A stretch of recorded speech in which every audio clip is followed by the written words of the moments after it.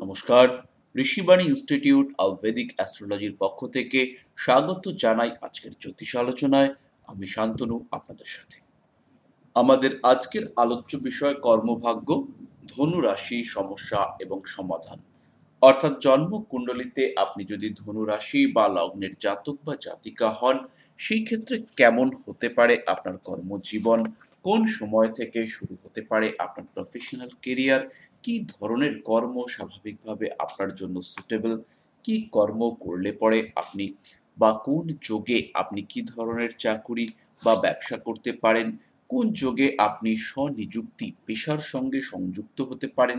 এই সমস্ত আলোচনা এবং তার সঙ্গে সঙ্গে কর্মক্ষেত্রে কি ধরনের সমস্যা আপনার জীবনে আসতে পারে এবং কীভাবে সেই সমস্যাগুলির সমাধান আপনি করতে পারবেন এই সংক্রান্ত বিস্তারিত বিশদ আলোচনা নিয়ে আজকে আমি আপনাদের সাথে।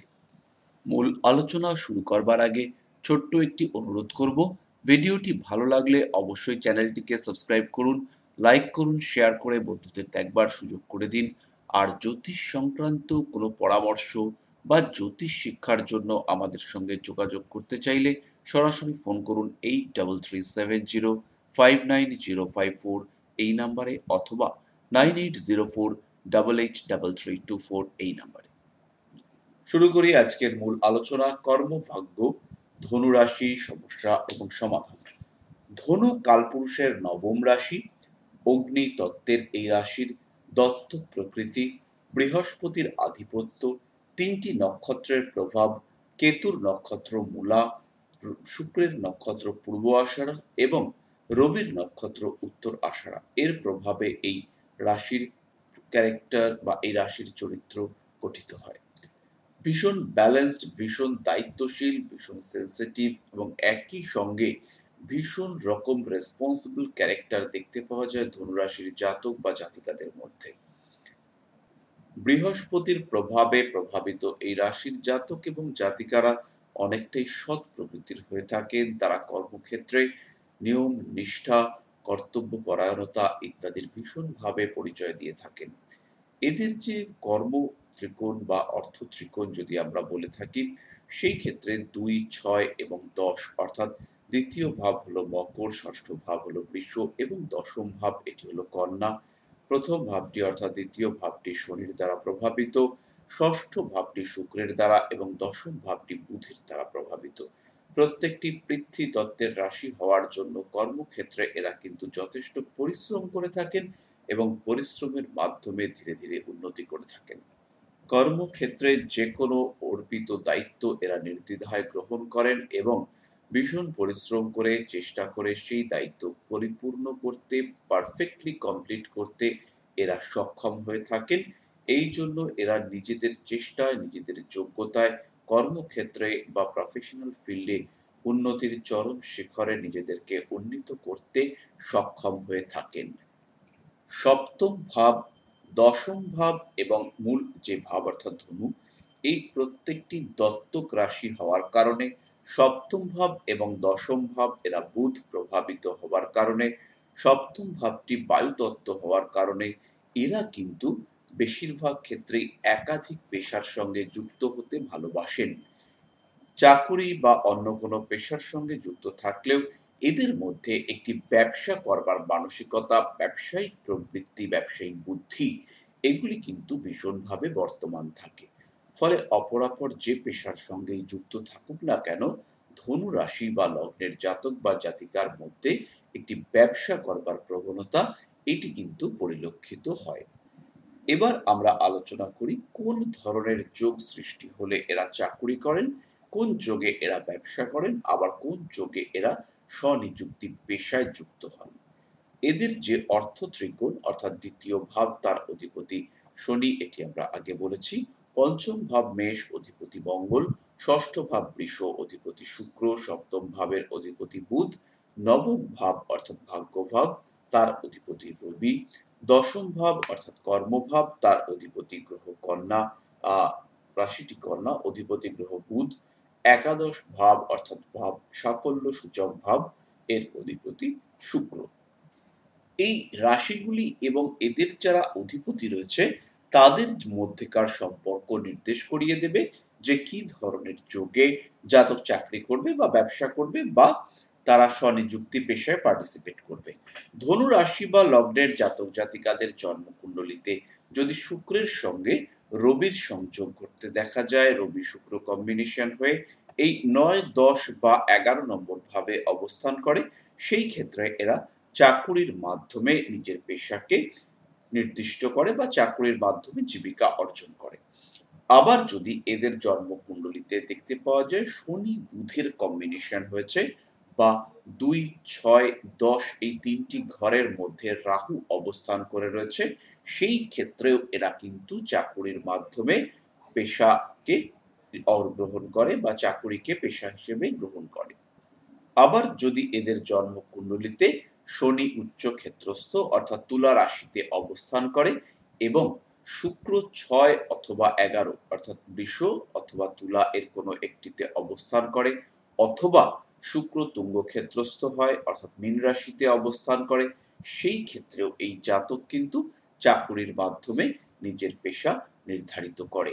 আবার এই অবস্থায় যদি এদের জন্মকুণ্ডলিতে রবি তুঙ্গ ক্ষেত্রস্থ বা সক্ষেত্রী হয়, সেই ক্ষেত্রে এরা সরকারি বা বেসরকারি ক্ষেত্রে উচ্চ পর্যায়ের বা উচ্চতর স্তরের চাকুরিতে নিজের জীবনকে বা চাকুরিকে নিজের জীবনের পেশা হিসেবে গ্রহণ করে।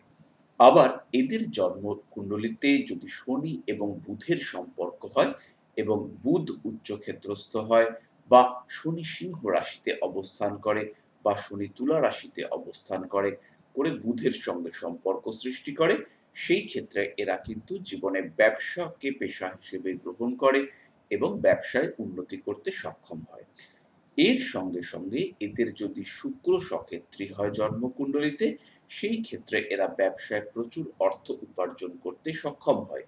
এই শুক্রের সঙ্গে বৃহস্পতির কোন রকম সম্পর্ক হলে এরা বহু অর্থের মালিক হতে সক্ষম হয় এদের জীবনে। আবার যদি এদের জন্ম কুণ্ডলিতে রবি, বুধ, মঙ্গল এবং বৃহস্পতি এই চারটি গ্রহের মধ্যে তিনটি গ্রহ সম্পর্ক সৃষ্টি করে, সেই ক্ষেত্রে এরা কিন্তু যে কোনো তিনটি গ্রহ, এরা কিন্তু ভীষণ ট্যালেন্টেড হয় এবং এই ট্যালেন্টকে কাজে লাগিয়ে, নিজের সৃজনশীলতা, প্রতিভাকে কাজে লাগিয়ে এরা জীবনে সুপ্রতিষ্ঠিত হয় এবং এটিকেই নিজের কর্ম হিসেবে গ্রহণ করে। এই চারটি গ্রহের মধ্যে যে কোনো দুটির সঙ্গে যদি একাদশ ভাব অর্থাৎ ইলেভেন্থ হাউসের সম্পর্ক সৃষ্টি হয় অর্থাৎ রবি, মঙ্গল, বুধ, বৃহস্পতি এই চারটি গ্রহের মধ্যে যদি দুটি গ্রহ ইলেভেন্থ হাউসের সাথে সম্পর্ক সৃষ্টি করে, সেই ক্ষেত্রে এরা কর্মজীবনে প্রভূত অর্থ উপার্জন করতে সক্ষম হয় এবং সাফল্যের একটি সীমা অর্জন করতে, সীমায় নিজেদেরকে উন্নীত করতে এরা সক্ষম হয়ে ওঠে। ধনু রাশির জাতক বা জাতিকারা যদি চাকরি করে থাকেন সেই ক্ষেত্রে তাদের অত্যন্ত পছন্দের চাকরি হয় শিক্ষকতা। শিক্ষকতা আইন সংক্রান্ত চাকরি, নিয়ামক সংস্থায় চাকরি, অধ্যাপনা, খাদ্য উৎপাদন সংক্রান্ত কোনো সংস্থায় চাকরি, এই সঙ্গে হিসাব শাস্ত্র বা অ্যাকাউন্টস ফার্ম আইনি সংস্থায় সেলসম্যানের চাকরি বা আইনি সংস্থায় চাকরি, সাংবাদিকতার চাকরি সিএ বা চার্টার্ড অ্যাকাউন্টেন্টের চাকরি, এইগুলিতে এরা সাধারণত নিজেদেরকে নিয়োগ করেন। চাকুরির ক্ষেত্রে এরা নিজ বুদ্ধি এবং দক্ষতার দ্বারা উন্নতি লাভের চেষ্টা করেন। কর্মক্ষেত্রে জাতক অতি ছোট ছোট কারণে ঝামেলা জড়িয়ে পড়েন। আবার সহকর্মীদের সঙ্গে এরা ভীষণ ঠাট্টা, ইয়ার্কি এগুলি করতেও ভালোবাসেন। কিন্তু প্রয়োজনে এরা সবাইকে সৎ উপদেশ দেওয়ার চেষ্টা করেন এবং একটি বিশেষ বৈশিষ্ট্য এদের মধ্যে দেখতে পাওয়া যায়। এরা কিন্তু নিজের কর্মে সন্তুষ্টি লাভ করে থাকেন। এরা যদি ব্যবসা করে থাকেন, সেই ক্ষেত্রে এদের ব্যবসার যে দিকগুলি পছন্দ হয় সাধারণত, সেগুলি হলো ওষুধ, খাদ্য, মিষ্টি, বস্ত্র, শিক্ষা সামগ্রীর ব্যবসা প্রিন্টিং প্রেস জার্নালিজম রিলেটেড ব্যবসা, শেয়ারের ব্যবসা, মুদিখানার দোকান অডিট সংক্রান্ত ব্যবসা, দালালি বা কোনো এজেন্সি কাঁচা সবজির ব্যবসা চারা গাছ ঔষধি দ্রব্য ইত্যাদির ব্যবসা পাবলিশিং হাউস সুদের ব্যবসা, এই ধরনের ব্যবসাগুলি এরা কিন্তু পছন্দ করে থাকেন। বহু ক্ষেত্রে এরা ফাটকা বা ব্রোকিং ব্রোকারি এজেন্সি ব্যবসা করে থাকলেও সেই ক্ষেত্রেও এরা কিন্তু সৎভাবে নির্দিষ্ট অর্থ উপার্জন করাটাকেই শ্রেয় বলে মনে করে থাকেন। স্বনিযুক্তি পেশার ক্ষেত্রে এদের সবচেয়ে পছন্দের পেশাটি হয় ইঞ্জিনিয়ারিং বা জমি জরিপ বা ওই ধরনের কনসালটেন্সি ফার্মিং। এছাড়াও এরা সাজসজ্জা, ডেকোরেশন ইত্যাদি সংক্রান্ত বিষয়ের তেও স্বনিযুক্তি পেশা হিসেবে গ্রহণ করে থাকেন। বৃষরাশি ধনুরাশি বা লগ্নের জাতক বা জাতিকাদের জন্ম কুণ্ডলিতে যদি শনি এবং কেতুর দ্বারা অর্থ ত্রিকোণগুলি প্রভাবিত হয়, সেই ক্ষেত্রে এরা খুব সাফল্যের চেষ্টা করেও সাফল্য অর্জন করতে সক্ষম হন না। বারংবার বাধা বিপত্তিতে এদের জীবন জর্জরিত হয়ে ওঠে। তার সঙ্গে বৃহস্পতি গ্রহটি, অর্থাৎ এদের লগ্ন বা রাশির অধিপতি গ্রহ সে যদি দুস্থানগত হয়, সেই ক্ষেত্রেও কিন্তু এরা সহজে জীবনে সাফল্য উপার্জন করতে পারেন না। এবং বারংবার ব্যর্থতা, বারংবার অসাফল্য এদেরকে, এদের জীবনে আসে, সেই ক্ষেত্রে এরা কিন্তু খুব সহজেই হতাশ হয়ে পড়েন। আবার যদি এদের জন্ম কুণ্ডলিতে মঙ্গল দুস্থানগত হয়, সেই ক্ষেত্রে এরা কর্মক্ষেত্রে প্রবল শত্রুতার সম্মুখীন হয়ে থাকেন এবং বহু লোকের সাথে ঝামেলা, অশান্তি, প্রতিনিয়ত ঝগড়া এবং তাদের বিদ্বেষের সম্মুখীন হন এবং সেই ক্ষেত্রে কর্মজীবনে এরা অতিষ্ঠ হয়ে ওঠেন। এই মঙ্গলের সঙ্গে যদি রাহুর সম্পর্ক সৃষ্টি হয়, সেই ক্ষেত্রে কর্মক্ষেত্রে এরা অযথা বদনামের শিকার হন এবং এই বদনামের কারণে এরা কিন্তু জর্জরিত হয়ে ওঠেন। ধনু রাশি বা লগ্নের জাতক বা জাতিকাদের জন্মকুণ্ডলিতে যদি শনি পীড়িত হয় এবং অষ্টম ভাবে একাধিক পাপগ্রহ অবস্থান করে, সেই ক্ষেত্রে এরা ব্যবসার ক্ষেত্রে ভীষণভাবে ঋণগ্রস্ত হয়ে পড়ে। এই ঋণ থেকে সহজে উদ্ধার হওয়া এদের পক্ষে বেশ কঠিন হয়। আবার যদি এদের তৃতীয়, ষষ্ঠ, দশম এবং একাদশ ভাবে কেতু অবস্থান করে, সেই ক্ষেত্রে এরা কিন্তু কোনোভাবেই নিজের আলস্য, নিজের অতিক্রম করে নিজের চেষ্টা এটির মাধ্যমে একটি জায়গায় জীবনে যে অধিষ্ঠিত হবে, সেটি করতে সক্ষম হয় না।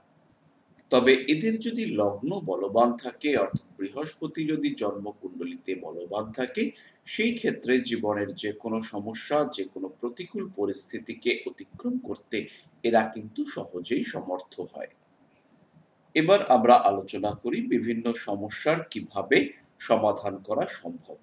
প্রথমেই আসি আমরা কর্মক্ষেত্রে, যদি প্রতিকূল পরিস্থিতি সৃষ্টি হয়, অর্থাৎ কর্মক্ষেত্রে যদি কন্টিনিউয়াসলি ডিস্টারবেন্স ক্রিয়েটেড হয়, কর্মহীন হয়ে যাওয়ার সম্ভাবনা সৃষ্টি হয়, সেই ক্ষেত্রে জাতককে প্রতিদিন তুলসী পাতা এবং মধু এই দুটি জিনিস সেবন করতে হবে। অর্থাৎ সকালবেলা ঘুম থেকে উঠে যে প্রথম খাদ্য গ্রহণ, সেটি কিন্তু তুলসী পাতা এবং মধু সহযোগে করতে হবে।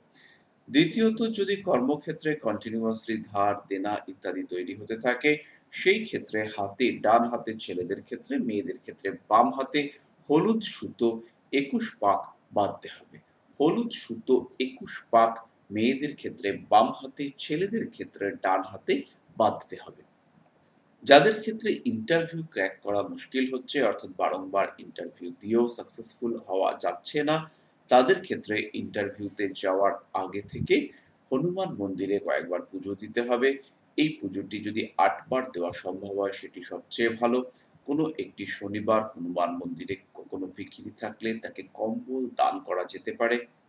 এছাড়াও পঞ্চমুখী হনুমানজির মূর্তি প্রতিষ্ঠা বা শিবলিঙ্গকে, পারদ শিবলিঙ্গকে অভিষেক করা, এটিও ইন্টারভিউর জন্য ভীষণ ভালো বা কার্যকরী সিদ্ধ হবে।